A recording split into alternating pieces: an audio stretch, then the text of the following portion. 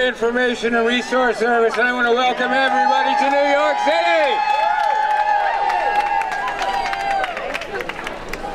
We've got a whole lot of flags over here.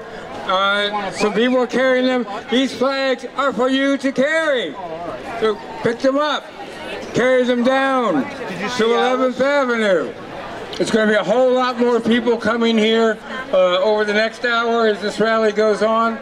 But we want to start with a very uh, special thing, which is that poet Marge Piercy uh, could not come here today, but she did give us two new poems uh, to read on her behalf today.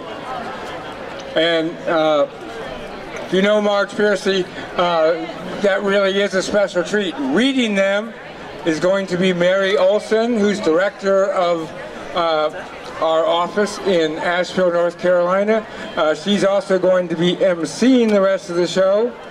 Uh, I will be over here handling sound and any questions or problems anybody has. Feel free to contact me. Uh, but let's bring up Mary Olson. We have quite a lineup for you today.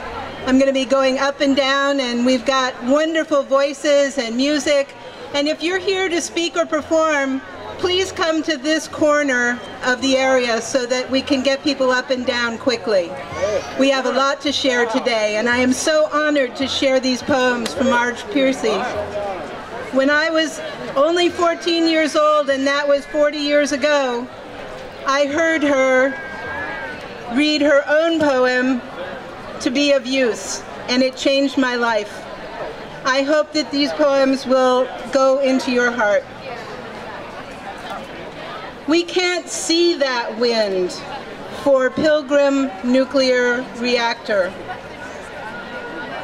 We live on the side of an invisible volcano of poisonous energy never able to guess the moment it will come to our homes and kill us.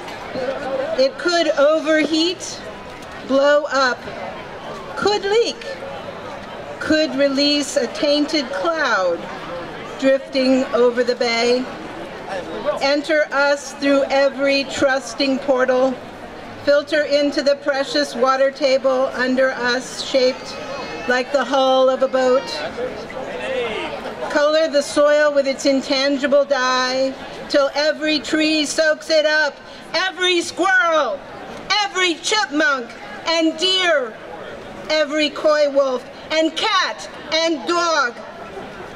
It eats into their wasting genes. Our children, our children will bathe in it, will consume it for breakfast, will sleep in its silent waves, the decade of cancer comes.